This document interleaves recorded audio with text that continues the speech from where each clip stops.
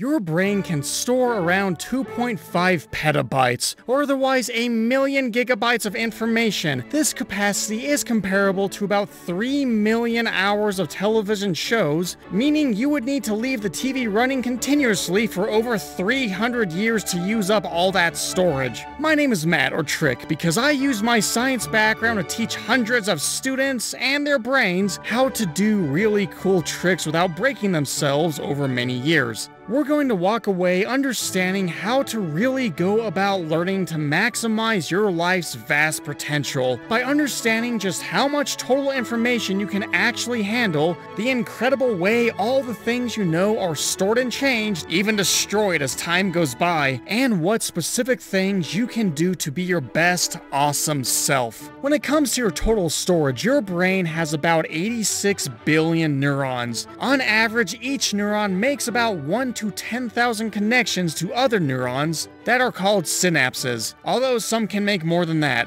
Everything you know, all of your knowledge, memories, learned skills are not stored in a single synapse, but rather in patterns of synapses across your neurons, which are only used when you actively recall any information or skill that you want to use. When it comes to the sheer volume of information that your brain can actually store, it's not so much like a computer. Your brain doesn't actually have a cap to it like a hard drive on a computer. Instead, your brain is like like a planet. While the neurons or buildings on the planet may stay fixed, the total amount of synapses or roads and bridges that can be made is absolutely insane. But while the amount of roads and connections those roads can have to each other is pretty limitless, there is an actual limit that your brain has to account for. You see, not only do these roads take up physical space in your head before they crowd each other out, making them way less efficient, but every single road takes up energy that has to be used to maintain it, to synthesize neurotransmitters, and general structural upkeep. This is why your brain takes up to 20% of your total energy, and also why it will quickly downgrade or just outright destroy any roads that aren't being used, like those piano lessons you learned when you were 6 and never came back to. Well, any roads that are used a lot, it will build them up and make them magnificent. While incredibly hardworking people can exceed the theoretical 100 trillion synaptic connections, they can't actually get anywhere ridiculous like creating 200 trillion connections. The brain is on a constant watch to be efficient with its use of roads. Yet you can still become far better at complex skills than other people.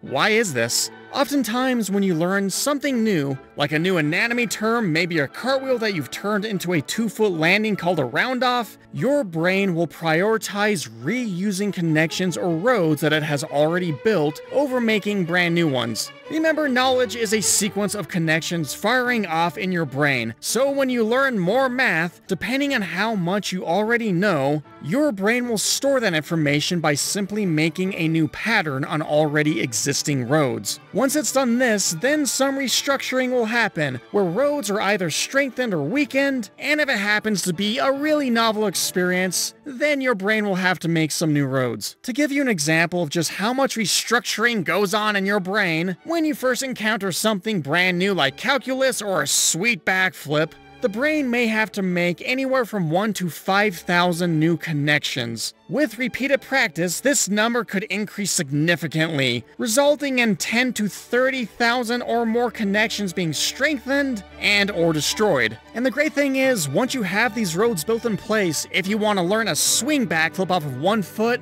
most of the learning that happens will be your brain simply reusing all the backflip roads. Now, how do we actually work to reach our vast potential? What are the best things we can do to ensure we are making the best roads possible? This brings us to something called active engagement. You see, passively receiving things sucks. Our brains do not like making new roads to add onto its list of things that it has to upkeep. The only way that we can really get our brain to learn new information is by actively doing something, Doing active volume will do wonders for you. Instead of you making my mistake for the first year of college where I just read my textbooks a lot, praying that the notes from my biochemistry class would just sink in, writing the notes once during a class doesn't cut it, as well as passively reading a textbook. Writing out the math problem or the anatomy terms for that darn anatomy lab over and over, or even teaching the material to a group of friends, this is the way to go. Because your brain will destroy anything that is not actively being used a lot, and will quickly move to eradicate those pathways. I remember the times that I've been asked to explain a concept by a really eager student that I've never really had to explain before. But I would notice by the third or fourth time I had to explain the concept, my explanation became so much clearer. Cause having to actively verbally say it versus just thinking it to someone who has locked eyes with me,